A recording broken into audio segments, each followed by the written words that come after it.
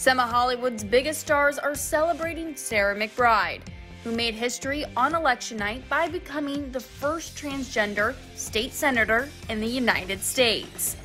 After beating her Republican opponent, Steve Washington, and was elected Delaware's state senate, the 30-year-old took to Twitter to thank her supporters by writing, quote, we did it. I hope tonight shows an, an LGBTQ kid that our democracy is big enough for them too. A number of celebs quickly congratulated Sarah on her big win, including Amy Schumer. Quote, Congrats to my friend at Sarah McBride, and congrats to the Delawareans for electing a great leader, Amy wrote in an Instagram post. Charlize Theron reposted the big news on her Twitter feed and wrote, quote, We are all a mess of anxiety right now, but at least we can celebrate this incredible news.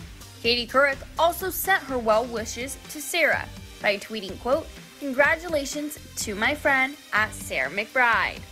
Debra Messing tweeted, quote, Yes, congratulations, hashtag Sarah McBride, hashtag democracy wins. And comedian Dana Goldberg posted a heartfelt message with, quote, tears of joy.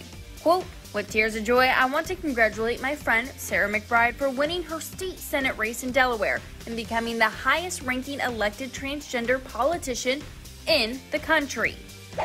Sarah is currently the National Press Secretary for the Human Rights Campaign and is largely credited of the Delaware legislation that banned discrimination on the basis of gender identity in employment, housing, insurance, and public accommodations. In July 2016, when she spoke at the DNC convention, she became the first openly transgender person to address a major party convention in American history.